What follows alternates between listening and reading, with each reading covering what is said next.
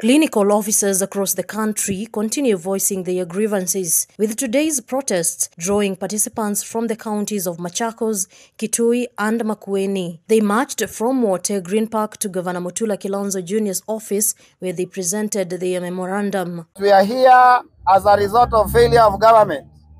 Failure of government to honor the law that they usually ask us to honor.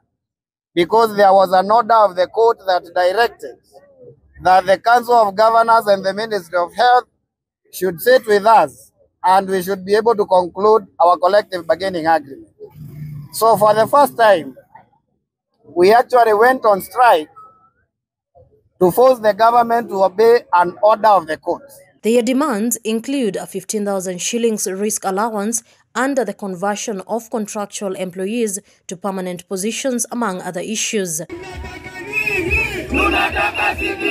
Mutula acknowledged that most of the issues raised by the medics can be resolved, but noted that the wage bill issue has hampered the implementation of some demands. It is unfortunate in a country for doctors or clinical officers like yourselves to be on the streets. It's very unfortunate.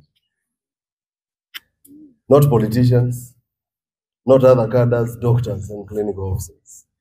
In fact, one of the things that you are asking, niliuliza why is this a problem? The 15,000. Nikaambiwa hamjasign CBA, nikasema basi simusign tulipe. That's a drop in the ocean. Considering the, the amount of money we are spending on tours in the in the world. Kenya Union of Clinical Officers chairperson Peterson Wachira maintained that demonstrations will continue until all issues are resolved, urging clinical officers not to relent. We are here to stand against discrimination because discrimination is indignified. And that is why we are saying we are here to fight for professional dignity.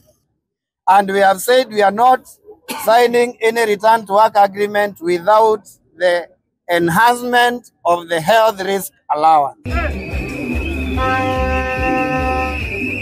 Mumbi Wambogo, K24 TV.